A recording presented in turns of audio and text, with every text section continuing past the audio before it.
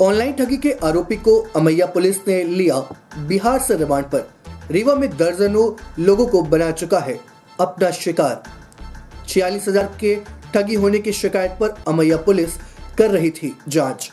आपको बता दें, एटीएम फ्रॉड सहित ऑनलाइन ठगी की जाँच कर रही अमैया पुलिस ने बिहार से एक आरोपी को गिरफ़्तार कर लिया है।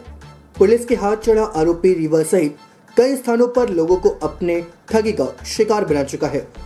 पुलिस अधीक्षक रीवा नवनीत भसीन के निर्देशन पर अमैया पुलिस बिहार के करौली थाने से आरोपी को रिमांड में ले ली है। आपको बता दें कि फेसबुक ट्विटर सहित अन्य वेबसाइट के ज़रिए यह मास्टरमाइंड लोगों की पर्सनल डिटेल एकत्रित करता था। इसके बाद लोगों के बैंक अकाउंट को खाली कर देता था। आपको बता दें, अमैया थाने में एक व्यक्ति के द्वारा छियालीस हज़ार रुपए की ऑनलाइन ठगी का मामला दर्ज किया गया था। इस पूरे मामले को गंभीरता से लेते हुए अमैया पुलिस ने साइबर सेल की मदद ली।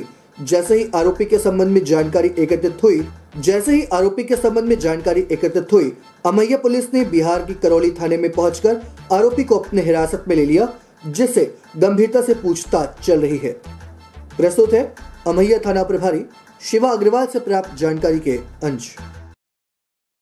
व्यक्ति को रिमांड में लिया गया है? क्या चीज़ निकल के आ रही है आ, एक मामला था छियालीस हज़ार रुपये की ठगी एक व्यक्ति के साथ की गई थी जब हमने उसकी तफ्तीश की तो पता चला कि वो व्यक्ति जो है करौली पुलिस की गिरफ्त में है वहाँ से जेल से रिमांड लेकर हमने उसको शामिल किया पूछताछ किया। तो काफ़ी चीज़ें निकल कर आई हैं जिसको आगे इसमें शामिल किया जाएगा विवेचना में। अभी तक जो है छियालीस हज़ार रुपये का जो फ्रॉड हुआ था वो उससे बरामद किए गए हैं और वो हमने जब्ती में शुमार कर लिया। तो किस तरीके से लोगों को झांसा देता था लोगों को एक्चुअली क्या है ये वेबसाइट से लोग कस्टमर केयर्स के नंबर निकालते हैं। वो नंबर उन लोग वो लोग ऑलरेडी जो है फर्जी उसमें पुटअप कर चुके होते हैं। वही नंबर इनके पास जब पहुँचते हैं तो पर्सनल डिटेल्स इनके पास जो जाती हैं उन्हीं डिटेल्स से लोग अकाउंट को हैक कर लेते हैं। रीवा में कितने लोग रीवा में कई लोगों को अलग अलग लोगों ने वहाँ से शिकार बनाया हुआ है जिसकी अलग अलग जाँच की जा रही है। कुछ ऐसे लोग जैसे जिनको टारगेट स्पेशली किया जाता रहा हो। ऐसा कुछ नहीं हो। जो व्यक्ति खुद ही कस्टमर केयर्स के नंबर गूगल पे ढूंढते हैं वो लोग सतर्क रहें। वो लोग वेरीफाई करें इन चीज़ को कि जिसको वो जानकारी दे रहे हैं वो वाकई वहीं पहुँच रही है जहाँ वो देना चाह रहे हैं या उनके साथ कुछ फ्रॉड हो रहा है।